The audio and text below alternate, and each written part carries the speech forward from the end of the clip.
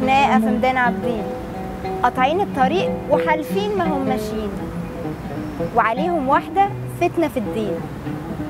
ودي مش بداية القصيدة اللي ابتدت من سنين.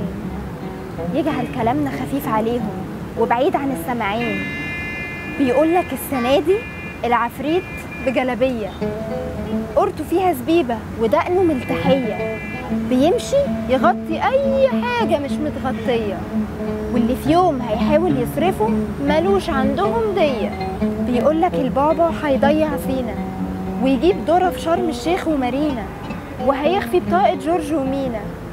والموضة بأمره هتبقى كارينا.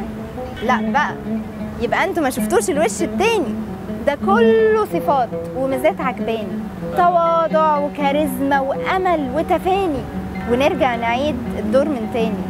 بنسمي اللعيب حريف قبل ما يجيب الجون. يا نمجد في شربه وأكلته ومسكته للتليفون يا نعيبه ونتسرع منه ونحرمه المصون ونرجع نستغرب قوي ليه موسى طلع فرعون.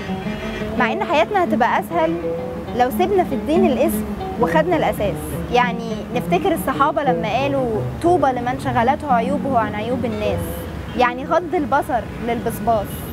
يعني شوارع نظيفة من الأكياس يعني مشاركة ومباركة وحرية اختيار. يعني مفيش شروط للديانة على أساسها هويت الجار. يعني مفيش في إيدينا مين في الجنة ومين في النار. يعني لو مين مكان هنقف له ونسأله ونكلمه ونسمعه. يعني بإيدينا نقدر نشيله وبإيدينا نرجعه. وعلى رأي المثل ما تخافش من البعبع خاف من اللي يبعبعه.